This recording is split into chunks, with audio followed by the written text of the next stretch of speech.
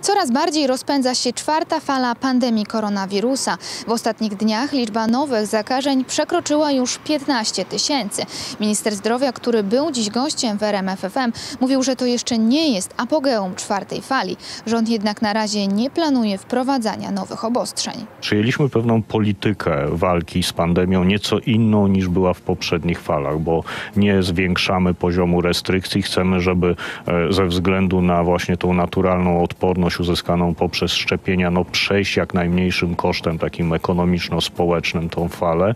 I jeżeli na Podlasiu, w Lubelskim będziemy widzieli, że ta polityka jest e, dobra w tym sensie, że pozwala rozwijając bazę łóżkową, zarządzając tymi elementami logistycznymi, przejść falę w taki sposób bezrestrykcyjny, to będziemy mogli już mieć taką świadomość, że kolejne fale będą pod coraz większą naszą To kontrolą. ciekawe, panie ministrze, Szpital tymczasowy na Międzynarodowych Targach Poznańskich zapełnił się jednak w 48 godzin. Zajęte są wszystkie łóżka internistyczne. Wolnych jest tylko kilka stanowisk respiratorowych. Szpital będzie więc musiał wcześniej niż to planowano rozszerzyć bazę łóżkową.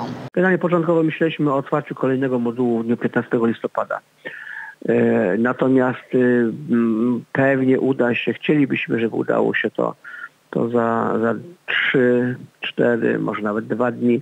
To wszystko jest płynne, ponieważ no, każdy personel y, lekarski też ma swoje plany. Każdy ma, ma, y, to jest kwestia wyrwania ze swojego miejsca pracy, ze swoich dotychczasowych zajęć, także mm, tam, gdzie, y, gdzie będzie to możliwe, kogo się uda zachęcić y, w takiej mierze udostępnimy kolejne łóżka. Kolejne szpitale decydują się także na zakaz odwiedzin, by chronić swoich pacjentów. Takie zakazy wprowadził już m.in. szpital w Wolicy i w Kaliszu.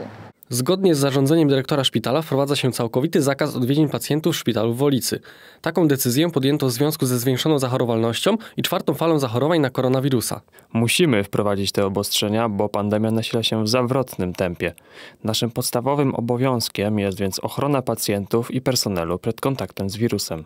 Tymczasem w jednym z punktów szczepień w Kaliszu trzy pielęgniarki wystawiały fałszywe certyfikaty covidowe, a niezużyte szczepionki niszczyły. Kobiety trafiły wczoraj do aresztu na trzy miesiące. Grozi im do ośmiu lat pozbawienia wolności. Paula Borowska, Puls Dnia.